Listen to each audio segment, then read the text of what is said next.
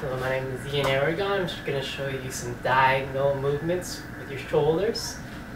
Um, so you can grab one weight, one dumbbell, free weight, and we're going to start off with external rotation. So you're going to grab the, you're going to start off right here with that free weight, and you're going to have your palms facing up, and you're going to do external rotation.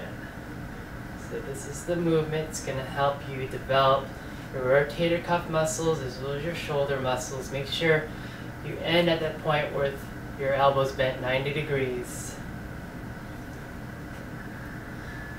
So as you can notice, my palms is facing up in this position and then forward in this position. So this is external rotation.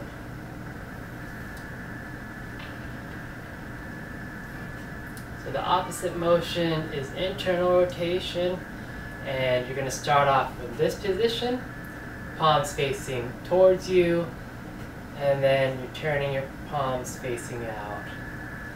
So once again, keeping your elbows 9 degrees in this position and then extending your arm.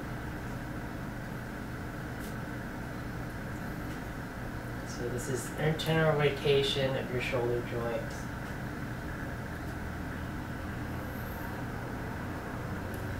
And those are diagonals with some free weights that helps develop your shoulder joint region.